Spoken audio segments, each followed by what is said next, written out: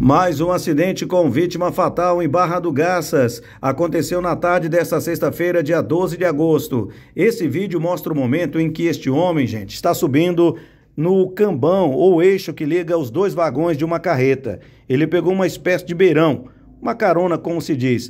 Isso foi em frente à loja Novo Lar do Leandro, na Avenida Ministro João Alberto. E ele seguiu dali, sentido saída para Cuiabá e a polícia acredita que quando ele foi descer perto do supermercado Nilo, ele escorregou ou caiu e acabou sendo atingido pela carreta e acabou perdendo a vida, né?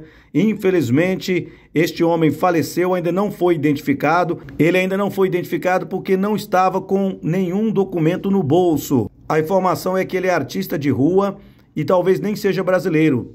O caso agora está sendo acompanhado por parte da Polícia Civil, que vai em busca da identificação desta vítima. Fato que aconteceu nessa tarde de sexta-feira. Mais informações lá no site Araguaia Notícia.